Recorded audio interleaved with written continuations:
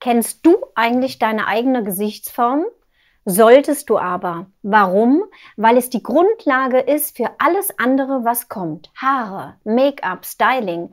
Alles ist ganz individuell und du solltest dein Rouge nicht einfach so setzen, wie es jeder macht.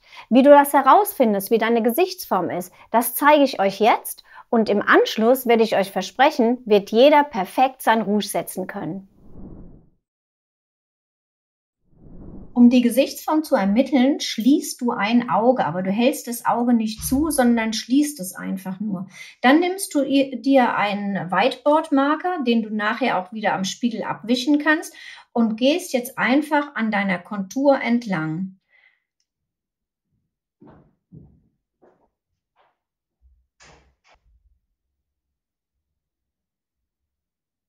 Dann überprüfst du nochmal, wenn du dein Gesicht nochmal in den Innenbereich reinhältst, ob das passt oder ob du eventuell noch etwas korrigieren musst. Dann gehst du hin und malst dir diese Form etwas fester, etwas sichtbarer und ermittelst für dich dann die passende Gesichtsform. Mein Gesicht ist ein Oval. Ganz allgemein sagt man, dass das ovale Gesicht die optimale Gesichtsform ist. Jetzt hat natürlich nicht jeder von uns ein ovales Gesicht, was aber überhaupt nicht schlimm ist, denn die gute Nachricht ist, dass ein Oval in jede Form reinpasst. Was man auch beachten sollte, ist auf jeden Fall die Zwei-Finger-Regel. Bevor wir anfangen, sollte jeder für sich die Zwei-Finger-Regel ja, einfach verinnerlichen. Und zwar zwei Finger sollte man weglassen von den Augen, vom Platzieren für dein Rouge. Zwei Finger sollte man weglassen von der Nase zum Platzieren für dein Rouge. Und zwei Finger auch am Mundwinkel. Das heißt also, dass dein Rouge generell in diesen Bereich kommt. Jetzt würde man ja sagen, ja, dann ist das doch gleich für jeden. Aber ich zeige euch jetzt erst einmal ein paar Prominenten, ein paar Beispiele, dass ihr sagt, ja, da erkenne ich mich wieder. Zuerst nehmen wir mal das rechteckige Gesicht und zwar Angelina Jolie. Ich blende sie hier oben mal ein, dann könnt ihr sehen, ich habe ein Bild rausgesucht, wo jeder von euch sagt, ja, das ist ein rechteckiges Gesicht. Und zwar das rechteckige Gesicht, ihr seht, hier kommt das Oval rein. Das heißt, ein rechteckiges Gesicht ist ein Gesicht, was sehr markant ist. Das heißt, wir müssen es weicher machen, wir müssen es modellieren mit dem Rouge. Da ist es ganz wichtig, dass zum Beispiel die Schläfenpartie und der untere Bereich vom Kinn einmal mit Rouge ähm, ja, weich gezeichnet wird.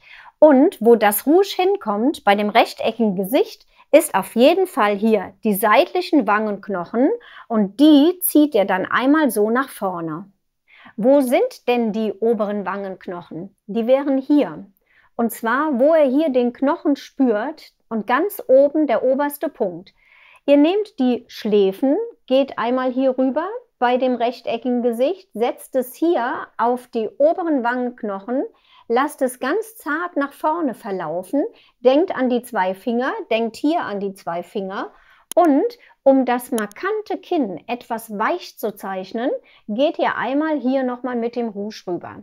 Das wäre die Option für das rechteckige Gesicht. So, dann das runde Gesicht zeige ich hier auch einmal. Und das ist das, was ich eben gesagt habe. Ein Oval passt auch immer in ein rundes Gesicht. Und alles, was also jetzt zu den Seiten nach dem Oval rübertritt, das wird zum Beispiel dunkel gezeichnet. Aber es geht ja um das Rouge. Selena Gomez, ich blende sie hier ein, ist ein absolut Top-Beispiel für ein rundes Gesicht. Und bei dem runden Gesicht ist es so, dass ihr zum Beispiel hier auch wieder auf den oberen Wangenknochen vom Ohr hier bis nach vorne einmal quer so schräg nach unten das Rouge zieht. Und warum macht man das so? Um das Gesicht etwas mehr zu strecken. Das heißt also, ich nehme mir einen Rouge-Stick, zeige euch das hier einmal und würde jetzt vom Ohr hier nach unten so einmal ziehen. Und das wäre das Optimale zu verblenden für das runde Gesicht. Denkt wieder an die Zwei-Finger-Regel. Hier nicht, hier nicht und auch nicht zu nah an die Mundwinkel. Denn wie gesagt, bei dem runden Gesicht wird es ja schräg nach vorne genommen. Als nächstes kommt ein Top-Beispiel für das dreieckige Gesicht. Reese Witherspoon oder Taylor Swift, ich blende sie hier oben mal ein, haben ein dreieckiges Gesicht. Da ist es so, die breiteste Stelle ist hier am Ohr und läuft dann spitz zu. Um ein Oval zu erreichen, ist es natürlich so, dass wir hier den Bereich jetzt nach hinten treten müssen, lassen müssen und das Kinn müssen wir im Prinzip unten mit dem Contouring etwas abschneiden.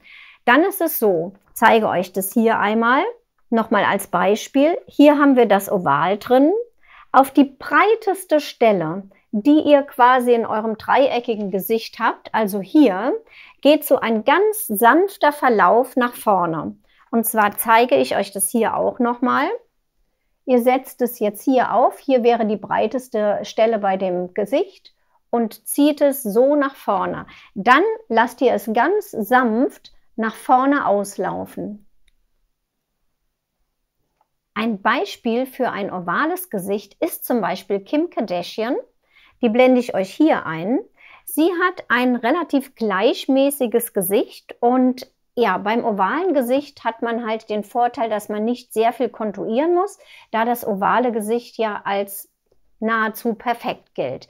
Aber beim Rouge ist es folgendes, und zwar das Rouge wird platziert auf der höchsten Stelle hier von der Wange und wird nach hinten ausgestrichen. Zeige ich euch auch mal. Und zwar hier wäre ungefähr die höchste Stelle der Wangen, zwei Finger breit weg und nach hinten ausstreichen. Das heißt, ich nehme jetzt hier zum Beispiel meinen Verblenderpinsel, platziere es hier und lasse das Rouge nach hinten schön auslaufen.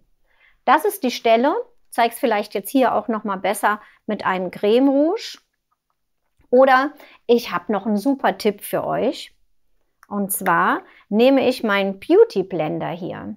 Und zwar hier könnt ihr zum Beispiel auf der Stelle von den Wangenknochen einfach nach hinten wegziehen und dann habt ihr die perfekte Linie, wo das Rouge hin muss. Ihr nehmt euren Pinsel und das Ganze wird schön nach hinten verblendet.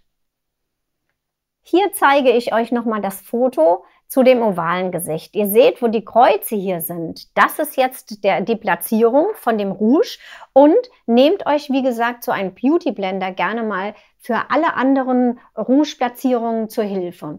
Und zwar setze ich das hier an dem höchsten Punkt an, ziehe es quasi nach hinten rüber und verblende es dann. Oder ich kann das natürlich auch mit dem Beauty Blender machen. Bei einem langen Gesicht zum Beispiel, Sarah Jessica Parker die kennen wir bestimmt alle noch von dem Film Sex in the City. Blende ich euch hier oben mal ein. Ja, schaut mal, was sie für ein längliches, schmales Gesicht hat. Ein längliches, schmales Gesicht muss ich irgendwie unterbrechen. Das heißt also, ich müsste jetzt hingehen, das Gesicht ist lang und schmal und ich setze irgendwie eine Kontur, sodass diese lange, dieses lange Gesicht unterbrochen ist. Und das wird folgendermaßen gesetzt.